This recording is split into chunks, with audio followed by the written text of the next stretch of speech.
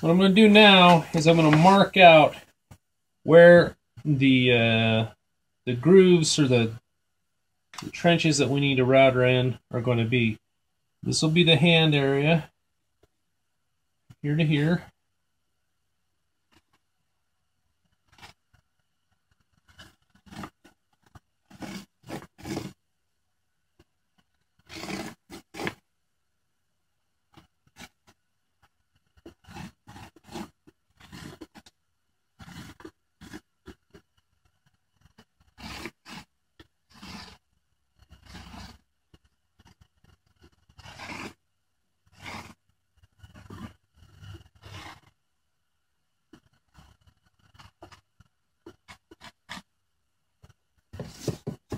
As you can see there, that's going to mirror where we need to be.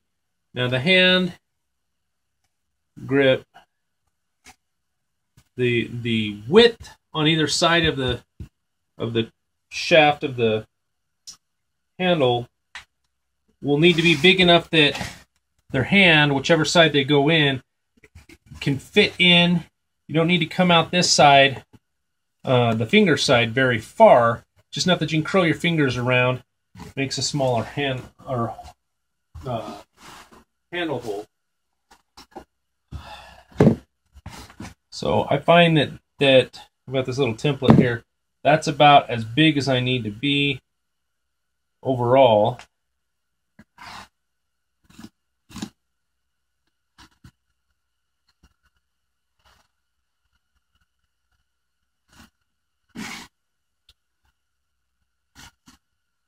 So now instead of cutting it all out and moving, removing that entire plug, I'm just going to use my router hit, uh, router bit here to take out a little bit at a time, take out this channel big enough and deep enough that this goes in there past the flush point of the top of the PVC handle here.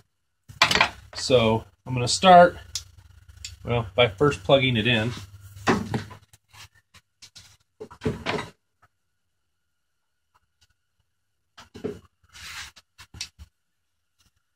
I'm going to start it just about as deep as I guesstimate the the depth of those holes are. So bring that in flush.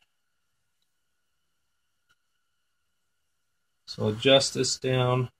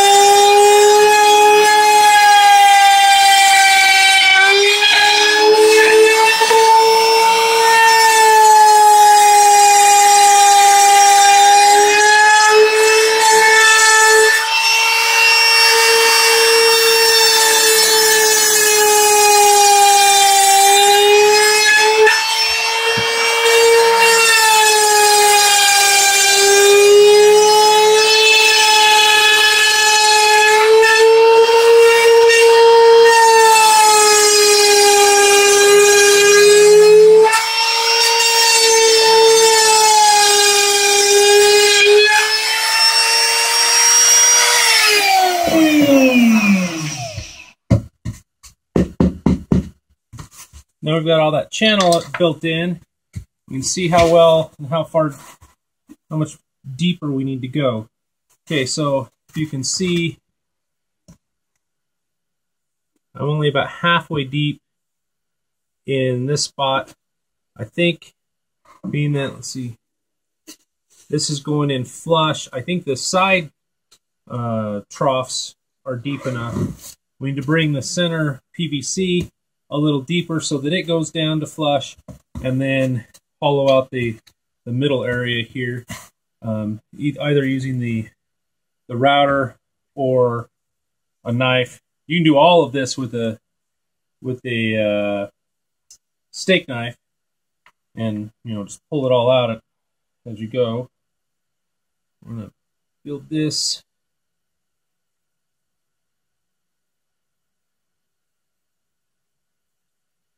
Deeper. Back up.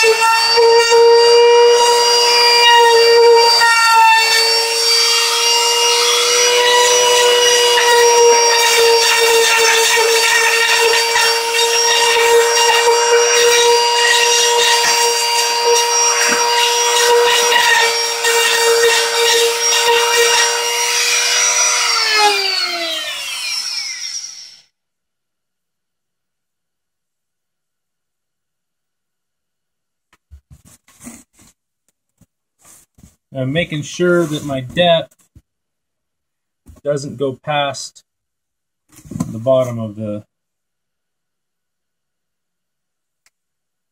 of the surface of the shield.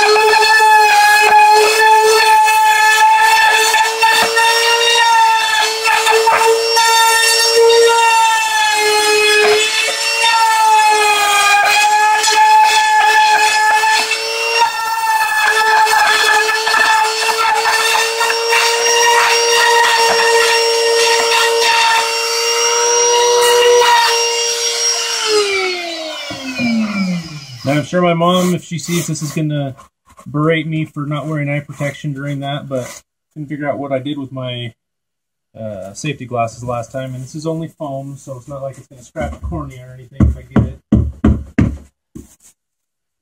So go through and kind of clean up the, the inside.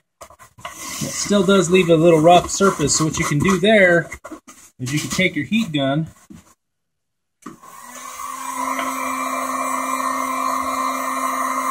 And you heat that up, and then you're going to take a piece of flat something, make sure that the bottom surface underneath your, your shield is fine.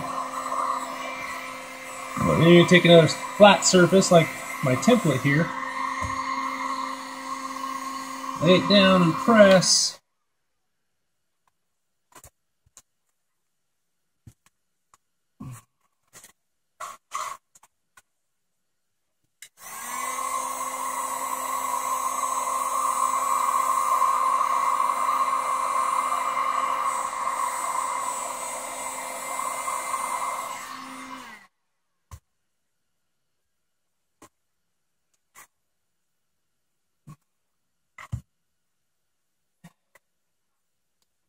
Helps make it a nice flat surface, which if I was going to go through and do a Plasti-Dip shield, I would then skin the inside of this whole area with MC foam. But being that this is going to be a cloth covered shield and the customer's not paying for that extra portion, I'm not going to worry about it. Dang. So anyhow, now looks like that comes in fairly flush. I need to go just a little bit deeper on the on the PVC portion. Which means just slightly a little bit deeper on these troughs.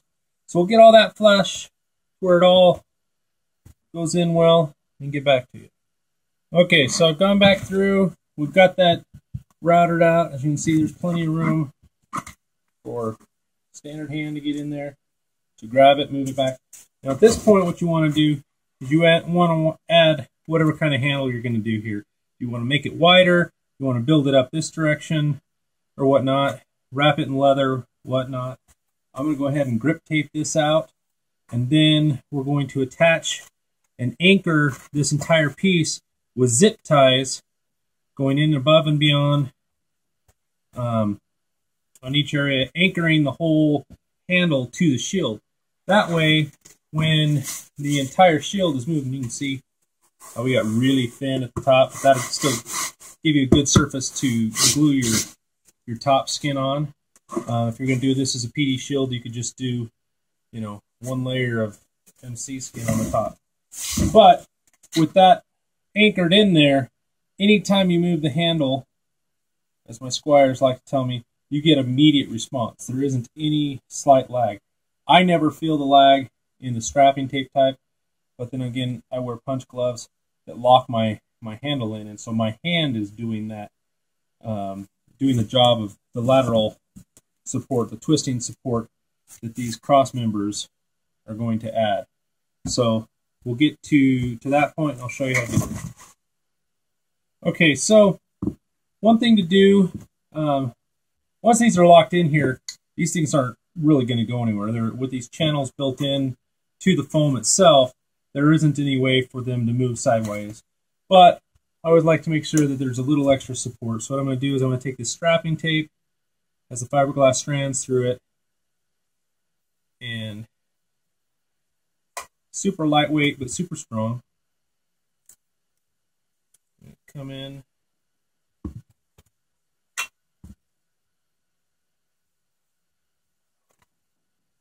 down both sides. And again, this is a really quick tutorial on how to do this, just to get the basic idea out there.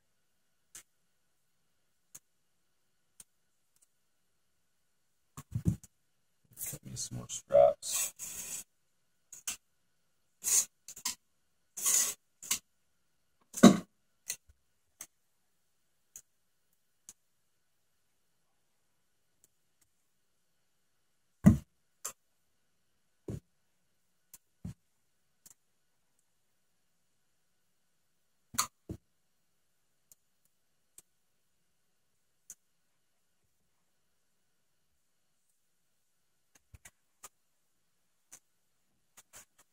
I've got that link in. I'm going to give it a quick grip tape handle. So he's got a little extra grip.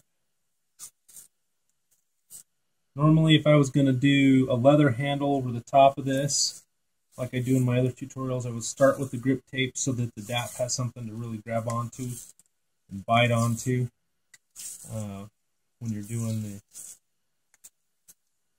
dapping on the leather handle.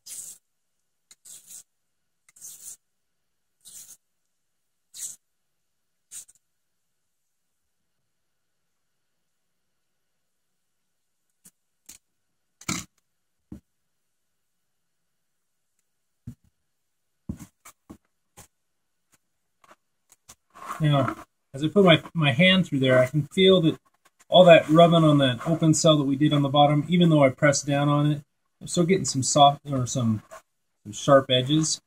So it's kind of like cheese grating the inside of my my hand. So what I've decided to do is I'm going to go ahead and put a piece of really thin MC foam and dap that into uh, into that section. It'll just make the, the grip along these knuckles a lot nicer.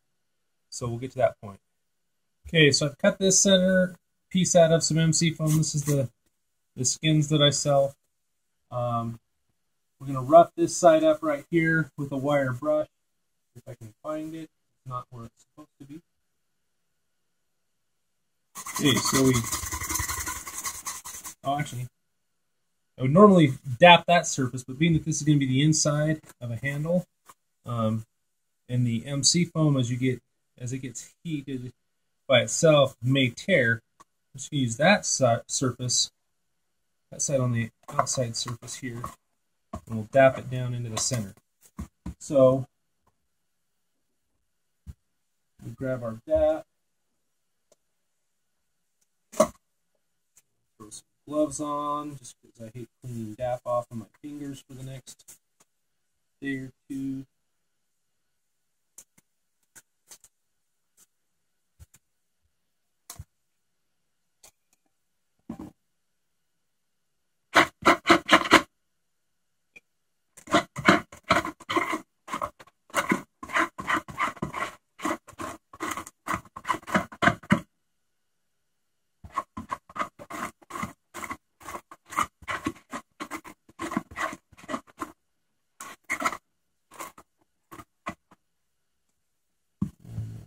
this side.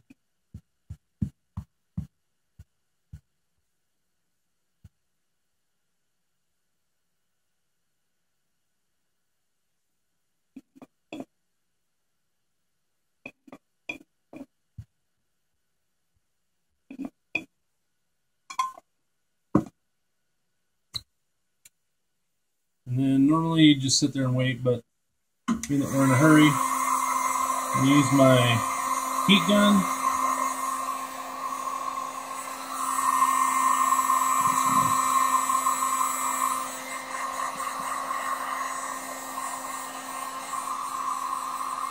Help it along with the drying.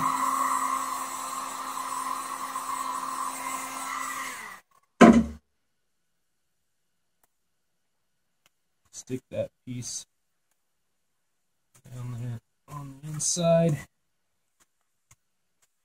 Now, with all that heat, it's got a neat little impression of where my knuckles need to be for your hand. So now that buddy comes in there, slides in really nice, very comfortable. Pick that shield up as it is now. Now, some people say, ah, just glue this in. Ah, that's a bad idea because glue will eventually rip out, especially if you're using this for a heavy combat shield. There's a lot of torque being put onto it with red weapons and whatnot.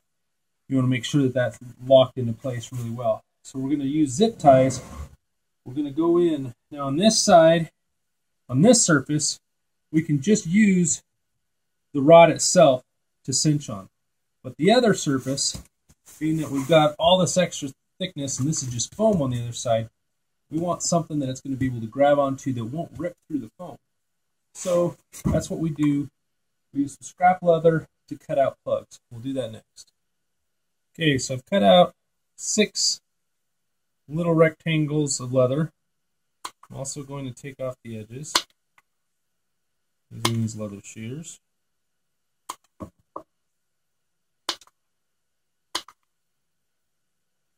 On second thought, you don't need these to be all quite this big. The ones that are going to be on the outside of the main portions, yes. Um, the ones that are going to be coming over the smaller uh, cross member fiberglass rods won't need to be that big. So I probably got quite a few extra for the next shield, but let's finish that up. So then what you're going to want to do is go punch two holes into either side. So I'm going to mark how wide this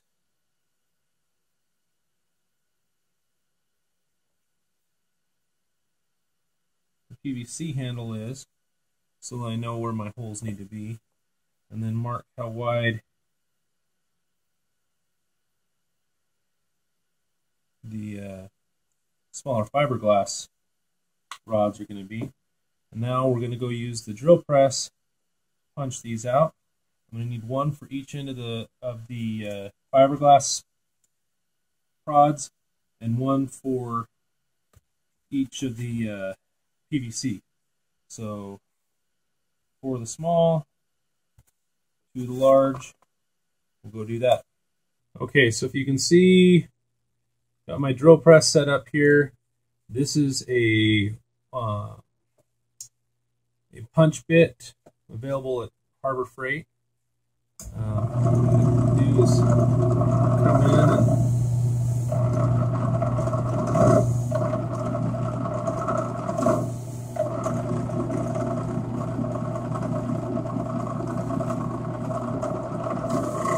cut the plugs out of each side.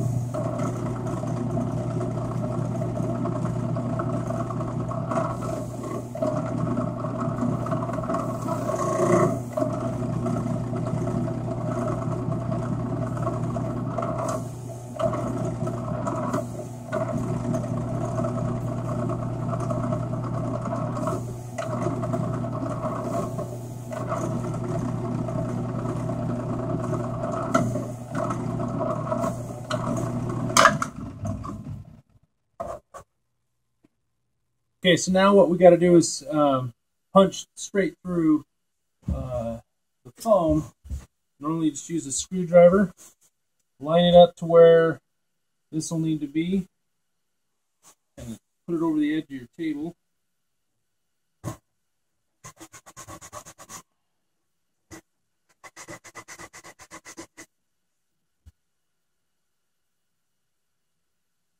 Punch.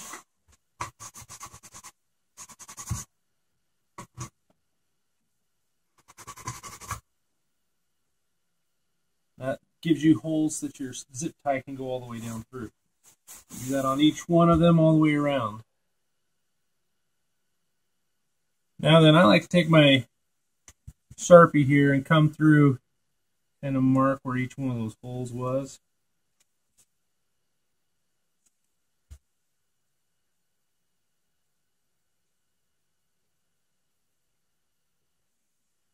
then you're going to lay this back down over the top of it figure out roughly where they need to be.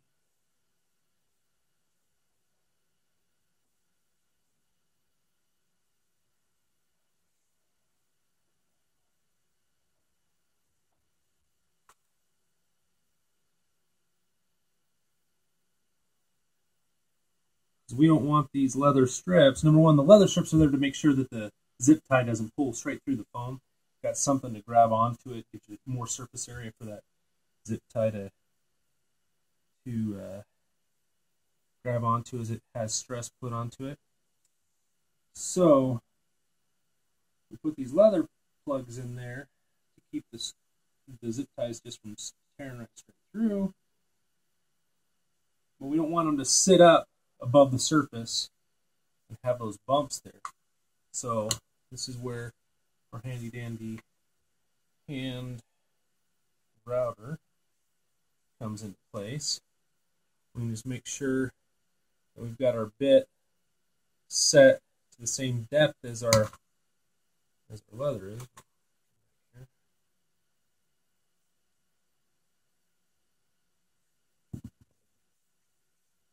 We want that surface to be nice and flush. So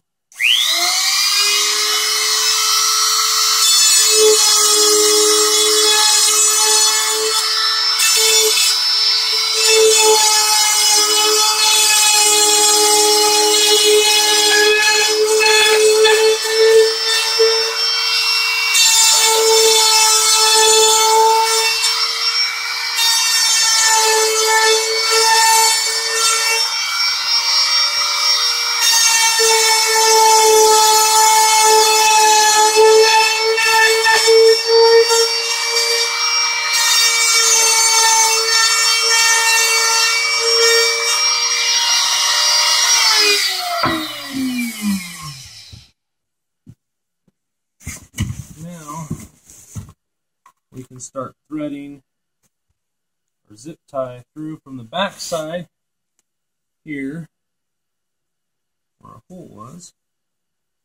Thread it through. Go in one side, the other, find the opposite hole. Bring it the top.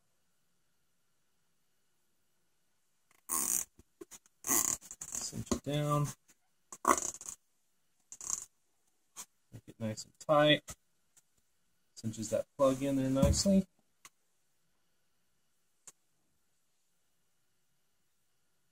Again, one side.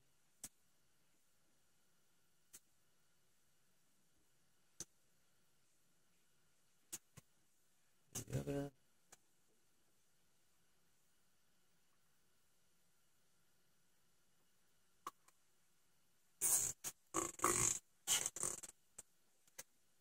Down nice tight.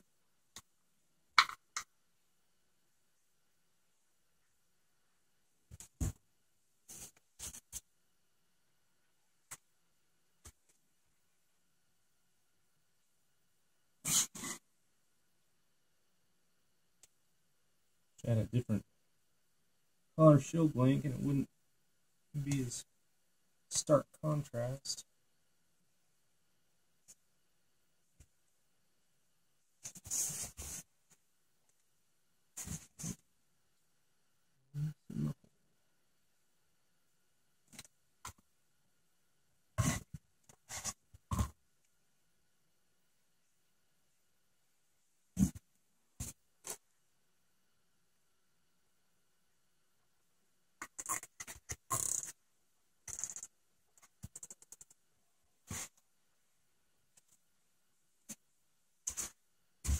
We'll do the same for the other side. Okay, so now we've got all of these excess zip ties out here, so we just need to trim those off down as close to the spot as possible, close to the surface possible. Try to turn your ends so that they're not sticking up above the, the surface here on the back.